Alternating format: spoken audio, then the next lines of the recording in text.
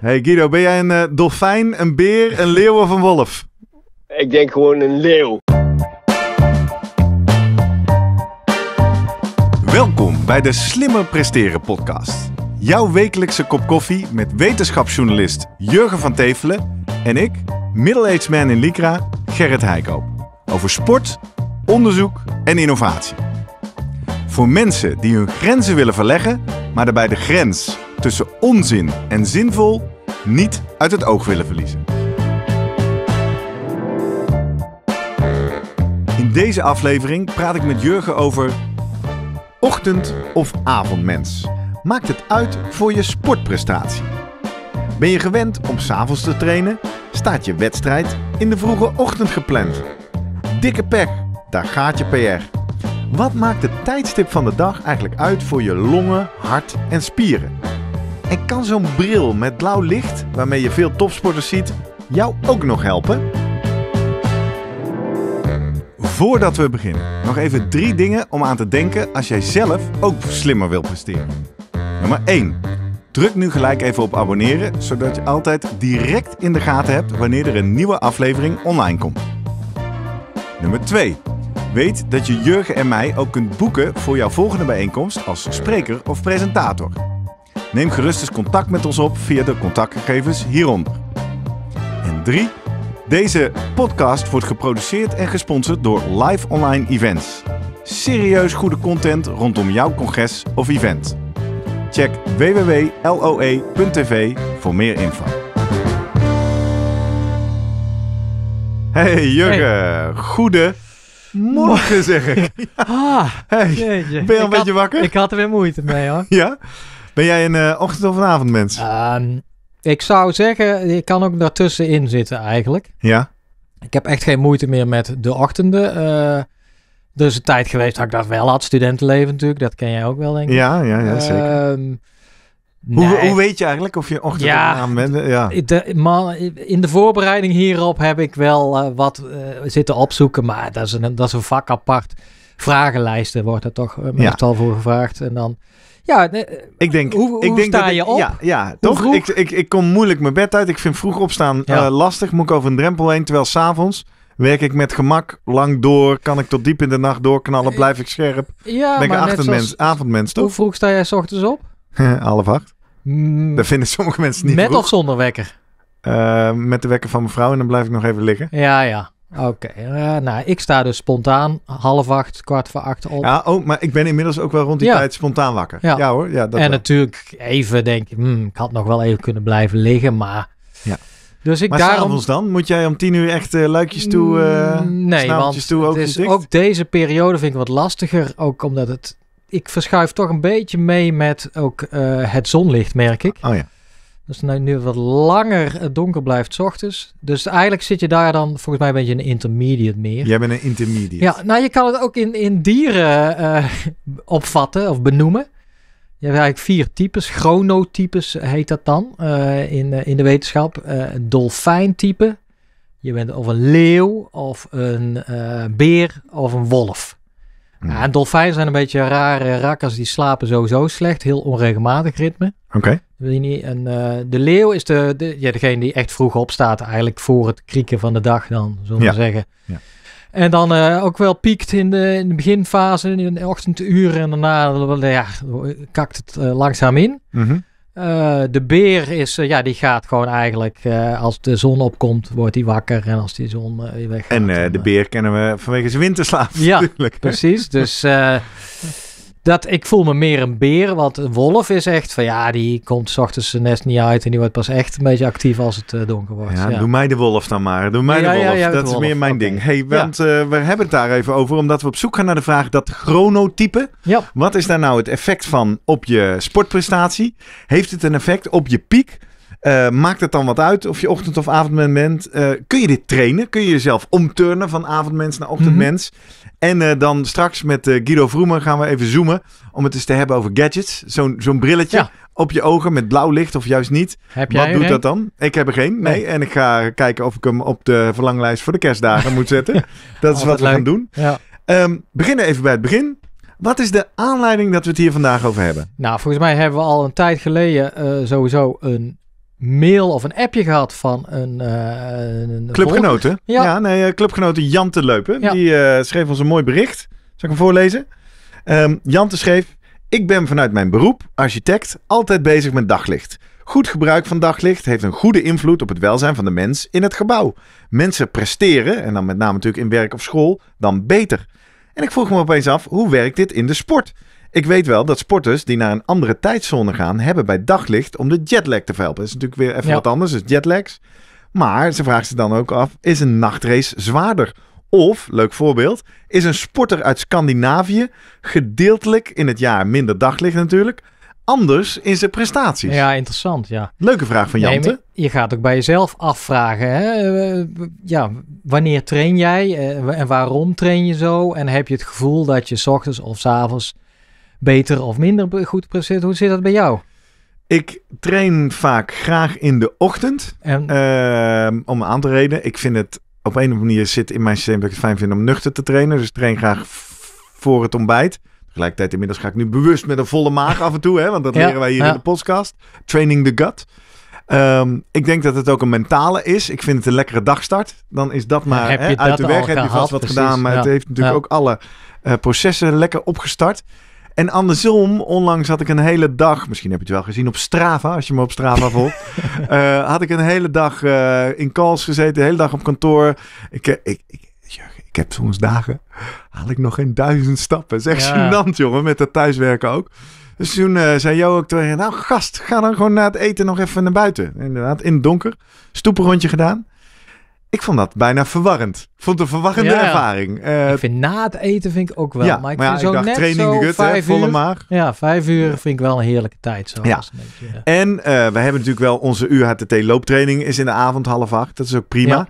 En wat je daar dan ook wel van weet wellicht, is ongetwijfeld ook wetenschap, dat je als je natuurlijk fanatiek gesport hebt s'avonds, dan duurt het nog minimaal een uur, anderhalf uur voordat je überhaupt kan slapen. Hè? Ja. Dan is de hele boel staat nog aan. Kortom, ja, je, je, ja, goed. Je hebt er niet zelf. eh, de, de, de topsporter zal er meer de keuze in hebben, natuurlijk. Ja, want die doet het voor zijn beroep, dus Wij zijn afhankelijk overdag. gewoon een beetje van eh, wanneer hebben we überhaupt tijd en wanneer Wanneer is de eh, zijn de trainingen en wanneer zijn de wedstrijden.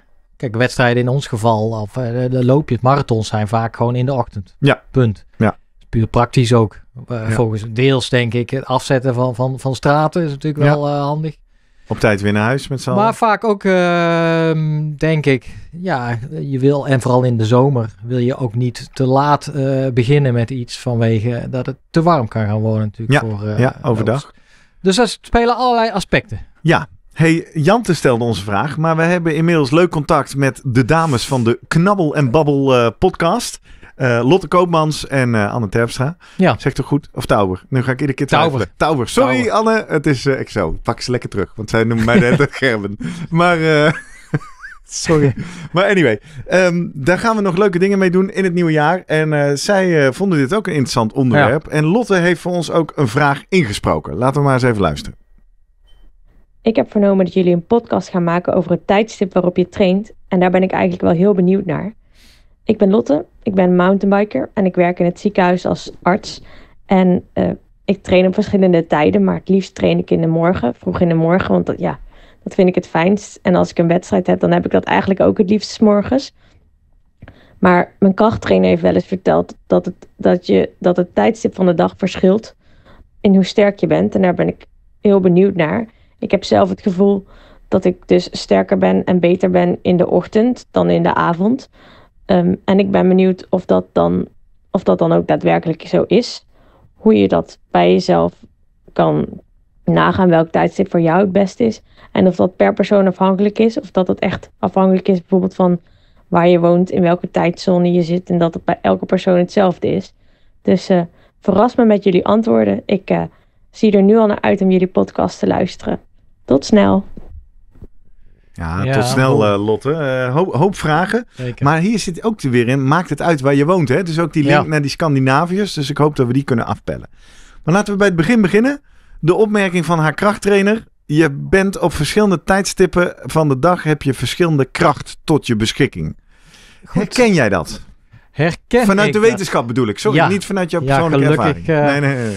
Ja, nee, dan, dan beginnen we maar meteen met een, een review dat net dit jaar is verschenen. Waarin ze eigenlijk alle studies die gedaan zijn op dit gebied op een, eh, onder de loep hebben genomen.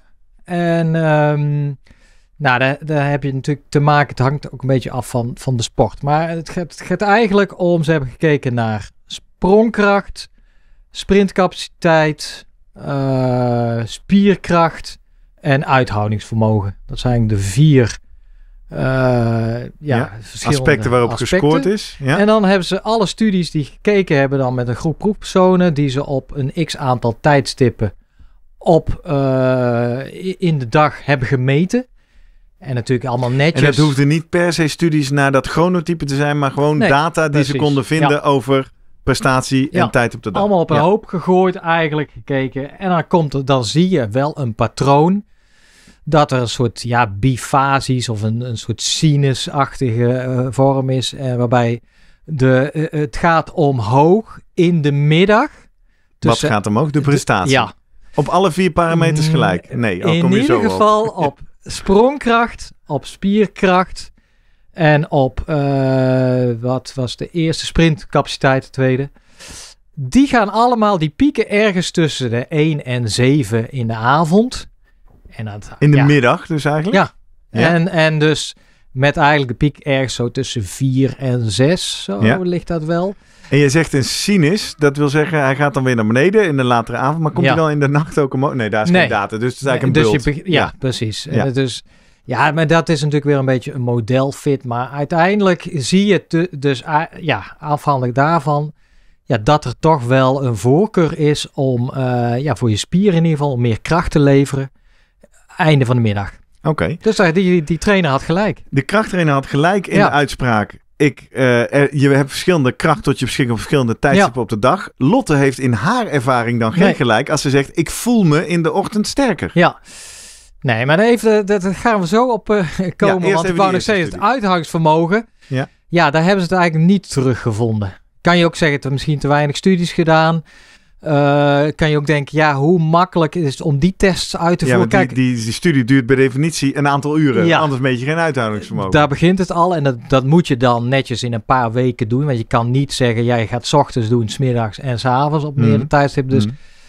Daar, ja, daar kom je daar denk ik tegen de beperkingen al van je studieopzet aan. En we weten met uithoudingsvermogen dat eh, motivatie ook een heel belangrijke rol speelt. Zeker als je dat gaat testen. Dus daar is het allemaal niet duidelijk. Nou, Wordt er in deze review ook iets verklaard of alleen nou, vastgesteld? Wel iets. En dan kan je aan de hand van andere studies. Kijk, de meest gehoorde verklaring is dat ehm, jouw lichaamstemperatuur Mhm.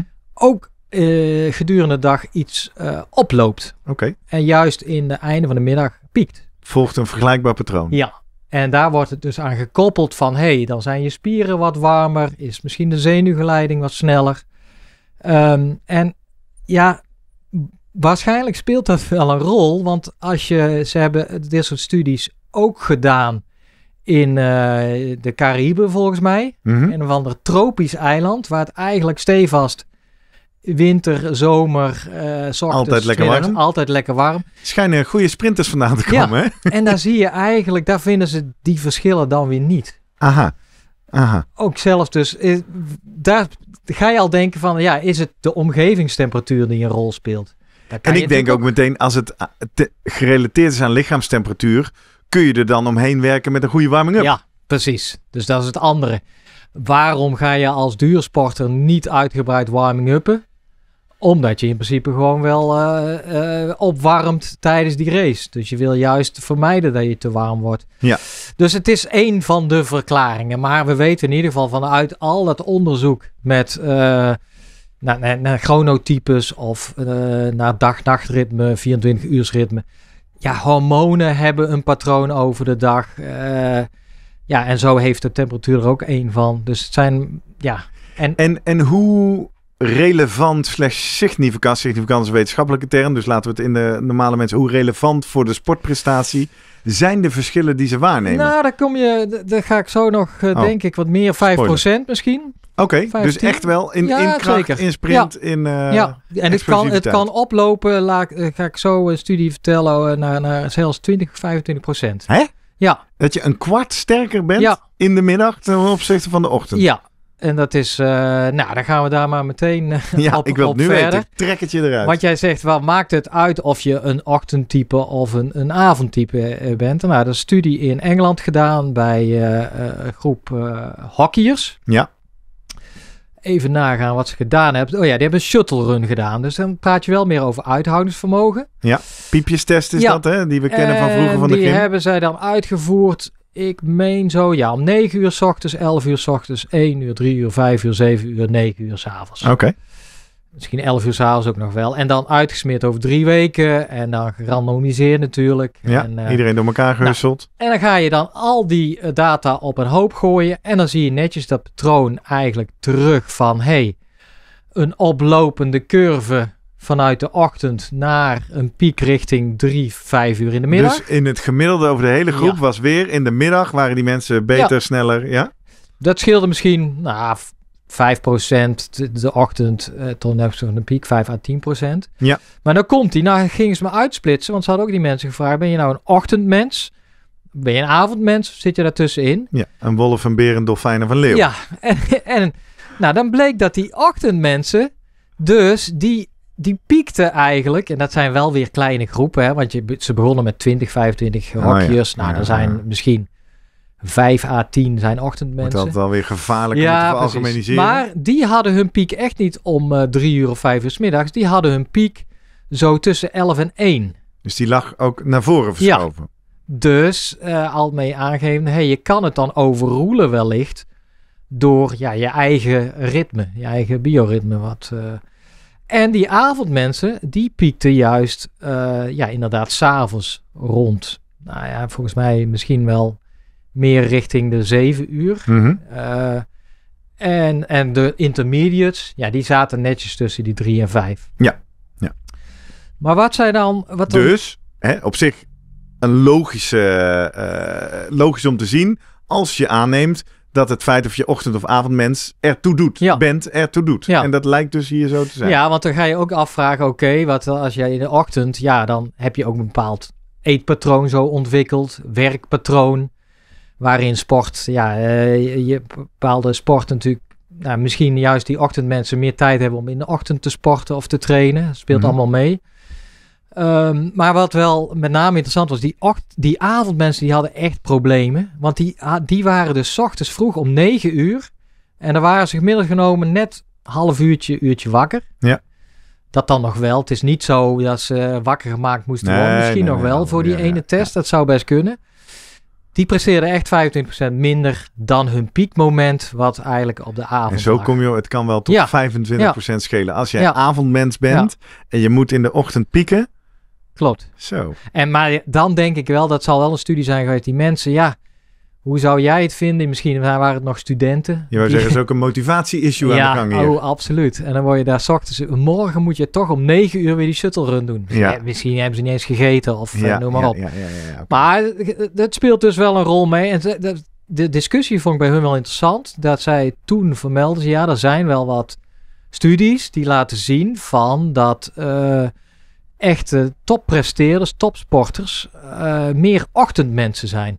Aha, dat is weer te gunstig Ja. van Lotte.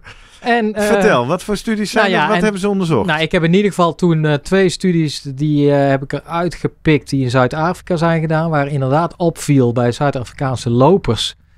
Ja, waarbij de wedstrijden echt om half zeven vaak al ja, zijn. vanwege de hitte overdag. Ja, eh, dat weet je niet precies, maar gewoon gevraagd, jongens, ben je ochtendtype of avondtype?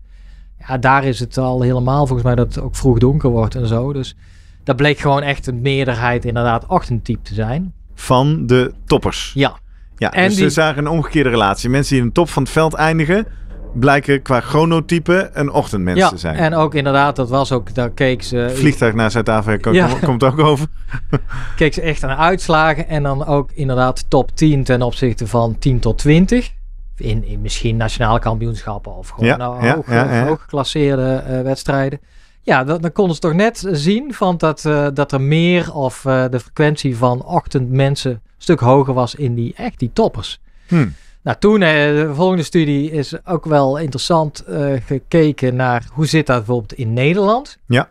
En hebben ze eigenlijk marathonlopers eh, in Nederland een vragenlijst voorgeschoteld van, nou ja, en aan de hand dan van hoe laat sta je op, wanneer eet je, wanneer piek je qua, nou ja, voel je het beste.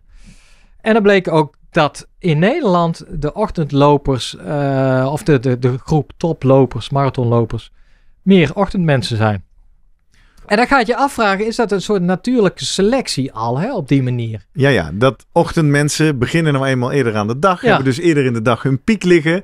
Daar zijn meer wedstrijden in dat Precies. window. In hun Ja. piekwindow zijn Ja. meer wedstrijden. Ja. Dus komen ze ook bovendrijven in de top. Ja, je begint natuurlijk al bij het voetbal al als je, je eh, kinderen of hockey, al die wedstrijden op zaterdagochtend. Ja, dat is vroeg. Ja, dat vergt wat van ouders, maar ook zeker van kinderen. Dus Ja. dan goed, aan de andere kant, nou ja, nu, nu we toch in dat onderwerp zitten met die, die eh, de Nederlandse voetballers, de Interlands of Champions League, die Ja, zijn, die zijn allemaal s'avonds. Ja, vanwege het tv-publiek. Trainen zij s'avonds vaak? Ah, ja, je kijkt mij vragen aan. Ja. Ik weet het niet. Dat is een vraag aan jou. Ik heb geen idee. Volgens mij, als we beelden van die trainingen zien, is dat altijd gewoon ja, overdag. en de, avond, de, de- vaak de avond voor bezoeken ze dat stadion even, lopen ze een beetje rond, klein, ja. Dus dat vond ik, ja, is toch wel interessant om dat mee te nemen. Van in hoeverre voetballers die natuurlijk op meerdere, eh, ja, of soms in de middag. Maar nu kom je in een ander onderwerp. En daar horen we Lotte ook wel een beetje over zeggen. Want nu maak je een relatie tussen het tijdstip waarop je altijd traint. Ja. Oftewel waarin je lijf gewend is om fysiologische prestaties Ja. te leveren. Vergeleken met het wedstrijdmoment. Ja, is nou, daar onderzoek naar gedaan? Zeker, ook weer een, eh, een Zuid-Afrikaans onderzoek. En ik, ja, ik weet het is een beetje cherrypicking misschien niet kan, want er zijn echt honderden studies naar gedaan. Cherrypicking betekent je pakt de studie ik- eruit die ja, jou nu wel Die gevalt. vind ik exemplarisch is eh voor. Vorige week hebben we daar de NOS nog mee om de oren Ja, geslagen. maar wel representatief, meen ik. En dan hebben ze eh, Zuid-Afrikaanse zwemmers. Ja. Ja, redelijk goeie gewoon. Eh, die hebben ze 's ochtends volgens mij om half, ja best wel vroeg, half zeven, 200 meter laten zwemmen in een uppie. Ja. En s'avonds. En dan op afwisselende dagen natuurlijk. En dan gewoon die twee tijden met elkaar vergeleken. Van een groep. ehm, en dan, dan maakte op zich, die twee maakte niks uit gemiddeld genomen. Hm, hm. Nou, dan gingen ze verder kijken van, oké, de vraag is, ben je een ochtendmens, avondmens? Nou, dan bleken de ochtendmensen relatief inderdaad het beter te doen in de ochtend dan de avond en vice versa. Ja. En ook nog gevraagd van, hey, dan train je in de ochtend. En dat zijn natuurlijk de meeste ochtendmensen waarschijnlijk zijn ook in de ochtend. Maar er zijn een aantal die dat, toch avondmensen die, nou ja, zo moet het, die gewoon in hun schema hebben opgebouwd. En blijkt toch dat zij het ook relatief beter presteren in de ochtend. Kortom, Wie? De ochtendmensen die ook in de ochtend trainen? de avond, ja, Nee, of oh, dat de mensen die op het tijdstip dat ze trainen, presteren ze beter in ja. die test. ja. Dus in die, dat geeft al aan dat jij op de een manier, ja, als jij 's ochtends traint, daar gewend aan kan raken en dat je uiteindelijk daar ook beter presteert. Het kan, Dus, terug naar onze voetballers. Het zou wel eens niet zo verstandig kunnen zijn, omgedraaid. Het zou verstandig voor Ja. hun kunnen zijn, om als ze veel wedstrijden in de avond hebben, ook wat meer in de Ja. avonden te gaan trainen. en maar dan denk ik, in, in alles zit dat ook meer van dat jij, als jij 's ochtends traint, heb jij jouw eetschema daarop afgestemd. Misschien je middagdutje, ja of nee. Ja, je hele leven natuurlijk, vooral als topsporter. Ja. Dus het is zeker niet verkeerd als eh, jij denkt van je bent gewend om 's middags te trainen, maar jouw belangrijke race is in de ochtend om eh, je aan te leren om ook eens in de ochtend te gaan trainen. Ja. Ehm, Specifiek naar zo'n Ja. wedstrijd toe bijvoorbeeld. Hè? Ja. ja. maar het was zeker niet één op één, want als je in die groep weer kijkt, zit er best wel, volgens mij 30% voldeed niet aan van het feit van, hé, hey, je bent een ochtendmens en, en eh, je, je, je presteert het best in de ochtend.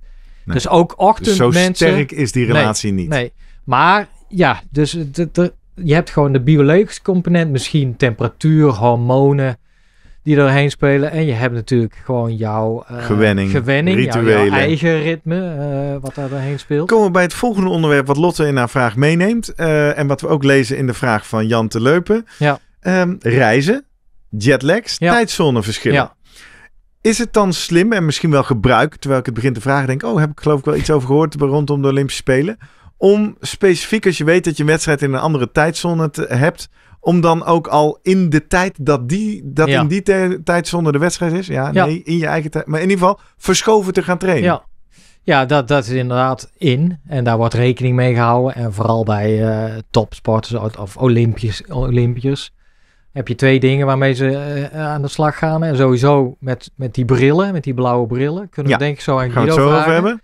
Nou, het idee is natuurlijk... eh, maar die brillen, toch even, eh, gaan we zo een Guido van. Maar dat is volgens mij heel erg om de jetlag zo snel mogelijk op te ruimen, toch? Ja. Ja, Ja. maar je kan ook, er zijn bijvoorbeeld studies gedaan waar eh, daglicht is nog gewoon heel super, super belangrijk voor met name ja, melatonine. Hè? Ja. Dat is natuurlijk het hormoon, of een van de hormonen die heel belangrijk zijn voor dat dag-nachtritme. Voor je, Ja. en, en met het idee dat in de avond stijgt je melatoninespiegel en op het moment dat het daglicht komt, dan gaat het dalen. En in de tussentijd gaat je cortisol, die een beetje jou eh, ja, eh, wakker maakt en actief maakt, gaat weer stijgen. Ja. Eh, dat, Want melatonine is het, het slaaphormoon. Ja. Hè? Uiteindelijk brengt dat je in slaap. ja, en als jij dus eh, licht aanbiedt, dan zorg je op de, op, voor een verlaging van je melatonine. En daar, ja, daar word je dan toch een beetje de, normaal van melatonine een beetje duf van. En pept jouw cortisol omhoog. Nou, en die twee heb je wel nodig Mhm. om een beetje prestatie te kunnen leveren. Eh, een studie gedaan waarin ze zelfs voor een tijdrit, tijdrit in het lab. En eh, ja, dan moet je, wil je natuurlijk weten van, ja, wanneer vond die precies plaats? Dat heb ik niet eens kunnen achterhalen. Maar ze hebben gewoon die mensen onder fel, eh, felle lampen gezet. En echt twee uur van tevoren. En dat vergeleken met eh, twee uur met een matige lamp. Mhm. Of maar een half uurtje onder de lampen. En dan bleek toch die twee, twee uur onder de felle lamp gaf een betere prestatie. Oké. Dus dat geeft wel aan van ja, er zit natuurlijk een tijdsvertraging tussen. Hè. Het is niet zo van, eh, ook met die brillen, die worden dan aangeraden om dan volgens mij echt twee uur voordat jij nou, nou misschien wil presteren en, en misschien een half uur voordat jij wil opstaan überhaupt. Want? Dat zijn ook die wekkers natuurlijk met, met blauw licht. Ja, ja, ja, ja. ja. En Nou, die blauwe licht zorgt er eigenlijk voor van ja, je melatonine gaat op dat moment lekker dalen. Je cortisol gaat omhoog. Jouw, ja, jouw, de, de bepaalde kernen die betrokken zijn natuurlijk bij bi- biologische klok in je hersenen gaan daarop reageren. En die, die geven de signalen af van jongens, we moeten straks aan de bak. Ja. En dat is de manier waarop in ieder geval. En zo kan je denk ik, als jij zegt ik moet smiddags om drie uur straks in eh, Tokio eh, pieken. Ja, dan kun je ervoor zorgen dat jouw natuurlijke ritme al, eh, ja, da- daar ga je natuurlijk sowieso, hou je rekening mee met je maaltijden. Ja. En dan kan je waarschijnlijk misschien met een, een, eh, een middagdutje of juist een late ochtenddutje, zet je daarbij die bril op met fel, of je gaat even fel licht eh, zetten, je gaat naar Ja. buiten. Ja. Zorg jij ervoor je twee uur later dan in ieder geval, nou helemaal, eh, ja, up and ready ja, bent. precies. Nou, ik wil zo over de bril verder met Ja. Guido, want anders eh, doen we dingen dubbel. En dan wil ik toch nog de studie, namelijk Ja. die dit jaar nog in Groningen gedaan is. Waar ze echt nog hebben gekeken van, nou die toppers die zich allemaal acclimatiseren, goed voorbereiden op. Zit daar dan echt geen verschil tussen? En die hebben gewoon vier jaar lang Olympische Spelen, alle zwemwedstrijden op een rij gezet. Mhm. En dan heb je natuurlijk te maken met eh, series die op andere tijdstippen plaatsvinden dan halve finales, finales. Ja. En zij vinden ook, en dan hebben ze een fitter doorheen, ja, zo'n zo'n soort sinus er doorheen. En dan zien ze juist de piek, die, ja, die extrapoleren ze dan om vijf uur smiddags, ligt dan, dan echt de Zien piek. zij ook. Ja, Dus zij En- kijken gewoon naar allemaal zwemwedstrijden. En dan zien ze dat de mensen die in de middag moeten zwemmen, zijn Ja. gewoon sneller. en dat zijn vaak dezelfde mensen die al in Even, de even toch, hè? even Ja. boerenverstand. Wacht even, je zei het al, series halve finale, finales. Is het niet zo, series in de Ja, ochtend, klopt. finales in de middag en die zijn altijd sneller? Ja, maar ze hebben daar wel rekening mee gehouden. Ook wel, want er zijn mensen die natuurlijk die series niet doorkomen. Ja. Dus die gaan wel eh, volle bak. Dus het heeft allemaal te maken met... eh, ja, eh, als je maar genoeg data hebt, geloof ik heus wel dat ze dat netjes gedaan hebben. Ik hoop het ook. Nee, maar belangrijk is wel daarbij van... Dus die piek is er dan echt. En of dat nou... Ik kan me niet voorstellen dat dat een temperatuursdingetje is. Echt. Dus dat... Ja, of de, maar... Het gaat daar wel om... Ja, volgens mij een verschil van minder dan een procent.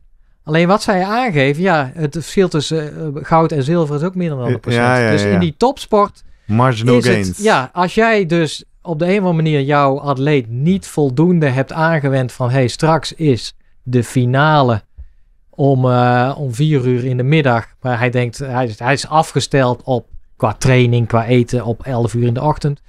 Ja, dan kan je best wel eens een medaille gaan missen op die manier. Ja, Ja. jeetje. Lotte Koopmans. Terug even namelijk naar Lotte. Nee, nog één onderwerp Ja. wat we niet hebben. Dan gaan we samenvatten voor Lotte en naar Guido. Jante zei nog iets over Scandinaviërs. Ja, Mensen die eigenlijk gedurende een half jaar überhaupt heel, Ja, veel, heel ik- weinig daglicht ik heb eh, daar niks krijgen. over gevonden helaas. Oké. Eh, ja, de Zuid-Afrikaanse studie, die weet ik wel. Ja. Ja, hoe die, eh, ja, of die Zweden nou echt in het nadeel zullen zijn, omdat zij eh, minder Ja, gewoon of andersom minder zit ik te denken, maar dan zijn we aan het speculeren. Ja. In het voordeel, want die komen uit donker. Die krijgen opeens in een eh, andere wedstrijd een bak zonlicht voor hun bakkers. Eh, maar wat ook wel, ook voor Guido denk ik interessant, wat je aan het denken zet, er zijn een paar studies gedaan, is het trainingseffect. Ja, je, we weten, wat zijn de beloften van training? Hè? Je VO2 max gaat omhoog, je spierkracht gaat eh verbeterd. Nou ja, een paar van die dingen.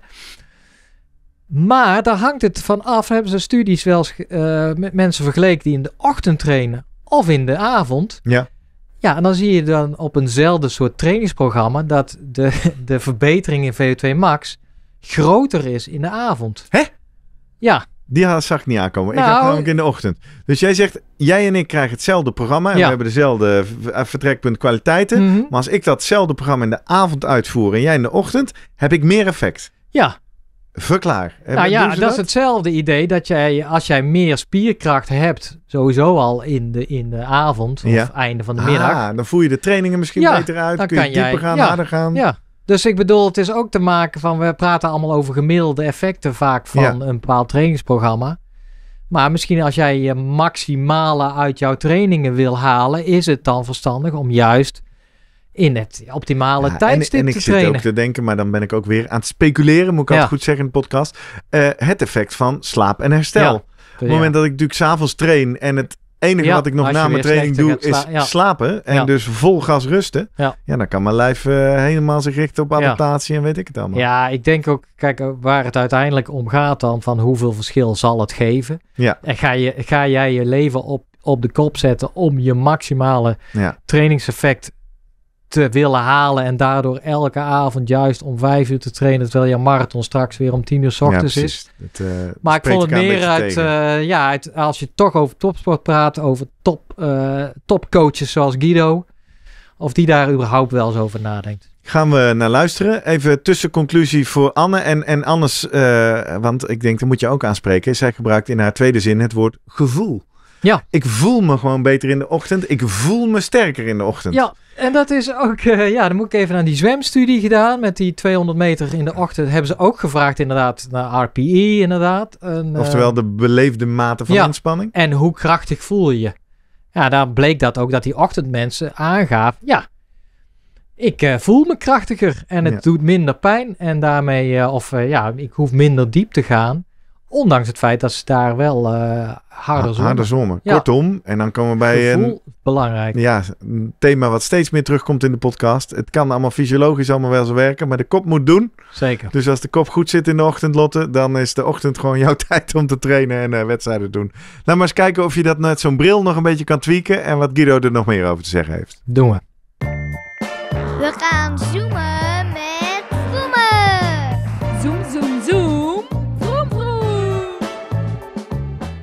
Guido, goedemorgen. Hey, Guido. Hey, goedemorgen. Hey Guido, ben jij een eh, dolfijn, een beer, een leeuw of een wolf? Ik denk gewoon een leeuw. Een leeuw, ja. Ja. Lekker ochtendmens en in de de Ja. rest van de dag eh, kak je lekker in? ja, tenzij er weer eh, genoeg koffie in gaat, Ja, dan eh, leef ik weer op, hè. Ja. Hoe vroeg sta jij op eh normaliter? Nou, half zeven, zeven uur. Oh, echt? Ah, Uit jezelf? wel een leeuw, eh, ja. Ja, ja, ja, ja. ja het is ook, als je honden hebt, dan moet er natuurlijk ook, eh, dan moeten die honden ook naar buiten. Die Ja, dus dat is gewoon de gewoonte geworden. Dus eh, half zeven, zeven uur Ja. is het eh, honden uitlaten. Ja, maar die kan, je, die kan je ook aanleren om later... eh, ja, want daar dat willen we het dus even met je over hebben. Is dat nou een beetje te beïnvloeden? En dan met name natuurlijk in de context van sporters Ja. en sportprestatie. Eh, Ja. Specifiek de- het brilletje hebben we het een aantal keer over gehad. Maar ook wellicht jouw ervaringen richting de Tokyo Olympics. Ja, misschien maar eens... eh, Ja. Kijk, Jetse Plat, wanneer moest hij... Ja, dan natuurlijk drie wedstrijden waarin hij moest, eh, zijn best Ja. moest doen, nogal. Maar de eerste was heel vroeg. Oké, In de ochtend. ja. Zes uur. Zo. Echt zo vroeg? Ah, En wat, eh, wat hebben het, jullie daar in de voorbereiding mee of aan of voor gedaan? Ja, geen brilletje. Nee, kan ik nu al verklappen. komen we zo op. nee, ik heb hem ehm, ehm, zeg maar wel. ehm, nou ja, ze- hij ging een week van tevoren. eh, sowieso ging hij pas daar naartoe, naar Tokio. Dus dan zit je al met een, een tijdsverschil. En dat is, een week is eh, denk ik weinig om een jetlag Ja. er helemaal uit te krijgen, hè? Of wel? Ja, je probeert zo goed mogelijk alles eh, voor elkaar te krijgen. Ja. Dus dan pas je dat eigenlijk voordat hij eh, er naartoe vliegt, de dag ervoor. Dan, ga ik eigenlijk, dan hebben we eigenlijk al iets aangepast in zijn schema. Het was een hele lange vlucht, waarbij hij eigenlijk. eh, moet ik even nadenken hoe het ook alweer precies zat. Ik liet hem eigenlijk de dag ervoor vroeg opstaan. Ehm, om vier uur of vijf uur was het volgens mij. Een uur, toen heeft hij eh, een uurtje op de tax binnen gefietst. Rustig. Mhm.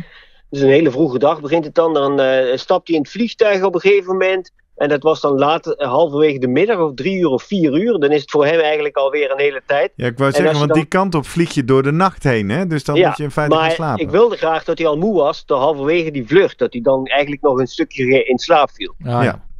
Dus dan heb je al een stukje in die slaap. En, en als hij er daar komt, met alle eh, transfers en dan ook in het hotel, dat hij dan daarna eigenlijk in het hotel eten, slapen. Ja.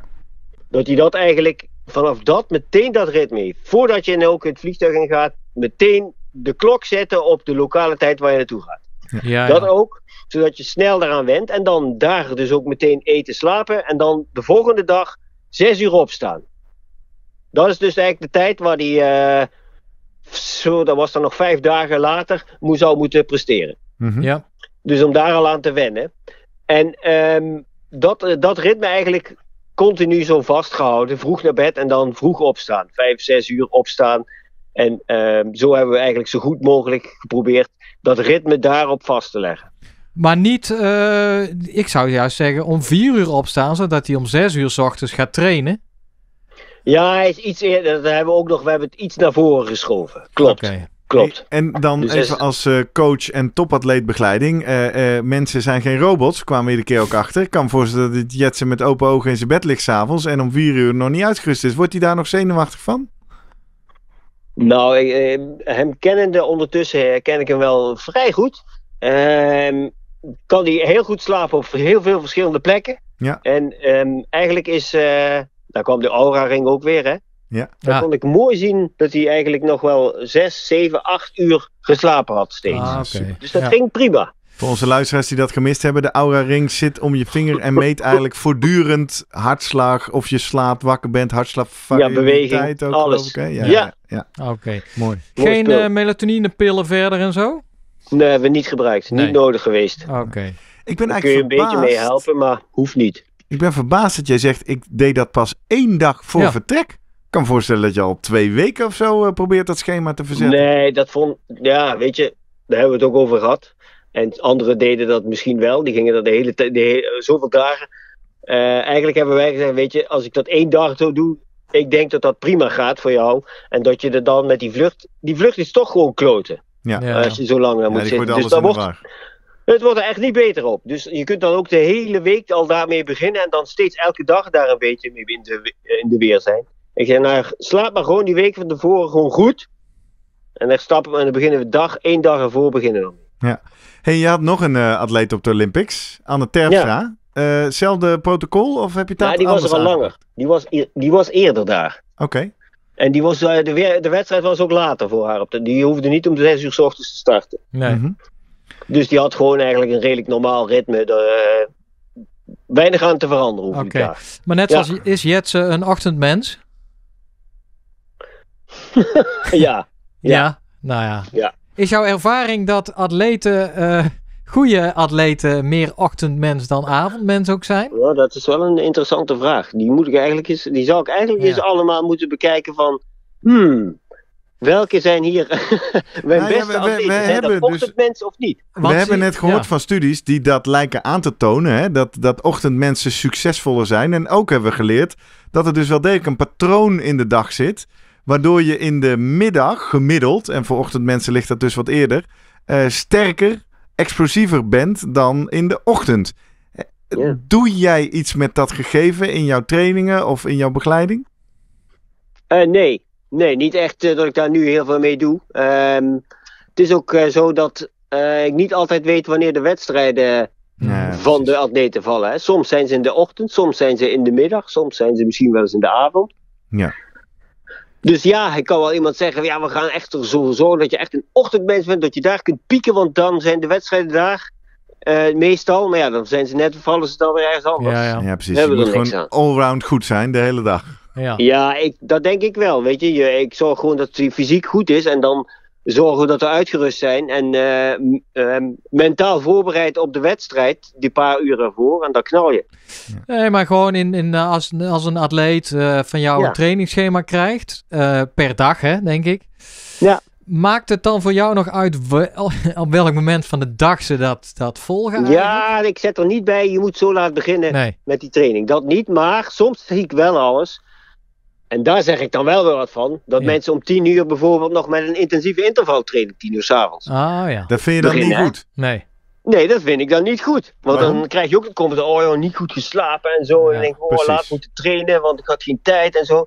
Ik zeg, ja, fijn als je dan geen tijd had. Dat, dat is inderdaad vervelend. Dan wil je die training nog doen. Maar dan, zou, dan laten we dan afspreken dat je dan een andere training dan doet. Ja. En dat je dan gewoon even rustig even nog eens eh, een klein stukje traint. Maar niet keihard gaat trainen zo laat. Want dan lig je nog drie uur na te eh, genieten. Ja, precies. Dus dan zeg jij, dat hadden we ook in de aflevering al even aan de orde, vanuit het negatieve effect op slaap Ja. eigenlijk. Ja. Zeg je, en Ja. slaap is cruciaal. Ja, ja, Ja. klopt. Want eh, misschien, maar we smijten nu een beetje onderzoek om je oren. Wat je, eh, Jurgen zit mij ook net te vertellen dat er onderzoek is wat laat zien dat mensen die, die hetzelfde programma hebben, maar de een werkt het 's ochtends af, de ander 's avonds, dat die mensen die 's avonds trainen meer effect hebben. Misschien zijn het er juist dan die avondmensen die dat kregen. Ja, Ja, het, het- er zijn, eh, ik moet dat even nuanceren. Eh, Die studies zijn inderdaad gevonden. Maar bijvoorbeeld als je Ja. dat in Guadeloupe doet of eh, in de mooie Ah, ja. tropische plaatsen, Oh, dan ja. zie je dat weer minder bijvoorbeeld. oh, Dus het, ja, de, de suggestie ging van voor een optimaal trainingseffect ook. Ja, dat je dan op liefst liever einde van de middag traint dan in de ochtend. Maar ja, Ja. nogmaals, we kwamen er ook achter. Ja, dan moet dat wel allemaal uitkomen in eh, het Ja, schema precies. van de dag, et cetera. Ja, en weet je, soms zit je ook in Spanje waar het knetterheet is op Ja. de dag. En dan denk ik, ja, ik moet eigenlijk 's middags trainen waar het hier bijna 40 graden is. Ja. Eh, hoe ga ik dat nou weer doen? Maar het is niet zo dat je wel eens hebt ontdekt bij een atleet. Die denkt, hmm, hey, dit eh, is een low responder eh, en dat verwacht ik niet. En dan blijkt hij elke ochtend om 7 uur te trainen. En dat, eh, dat je toen Nee, nog dacht, niet. hey, die, die Nee, nee, nee, nog niet. nee. Misschien wel eens iets eh, om in de gaten te houden. Ja. ja, mooie, mooie Ja, die data input, heb je. Die- ja, je hebt heel veel natuurlijk trainingsdata. Die kan je wel even door een, eh, een AI laten Laten analyseren. analyseren. Ja. Hey, maar dan nu Ja. toch, dat beïnvloeden, het Ja. verschuiven van je chronotype. Eh, misschien wel met gadgets. Zijn we altijd Precies. lekker eh, nieuwsgierig en of allergisch Een, een bril met blauw licht of blauwe Ja, glazen. Jullie hebben het over iets wat ik nog niet ken. Een ProPeak zeg jij? Wat is dat? ProPeak heet de bril. Dat die, die is ontwikkeld door eh, een bedrijfje. Twan Schouters is volgens mij de, de, de man daar. eh, die gebruikt wordt niet alleen voor topsporters, maar ook voor, voor zakenlieden die veel reizen. Maar wat is et het? Een soort anti-jetlag bril of zo? Ja, zo is die. Blauw eh, licht. volgens mij, als ik het goed begrijp, die, kan, eh, die heeft aan de binnenkant lampjes ook. Dus je Ja. kan actief eigenlijk blauw licht laten schijnen. Met het idee dat blauwe licht ja, jouw melatonine lekker omlaag brengt en je cortisol omhoog. Ja. En dat hij aan de andere kant ook een beetje eh, rood eh, licht kan gaan. eh, je blauwe licht tegenhouden en rood licht doorlaten. En die zet je dan met name op het moment dat je wil gaan slapen. Oh ja. En dan wordt je, je licht weer gefilterd, waardoor je melatonine lekker kan stijgen en je lekker eh, nou Guido, jij bent slaperig wordt. proefpersoon van alle gadgets Ja. in de markt. Heb je, heb je hem al gebruikt? Nee, nee, nee, nee, Oh, nee. nee. Ik stel me bij deze maar beschikbaar. Ja. Je luistert, kom maar op. Maar je Maar kent hem wel, hè? Nog een, ik, ik denk dat ik wel een mooie proefpersoon heb weet. Wat dan?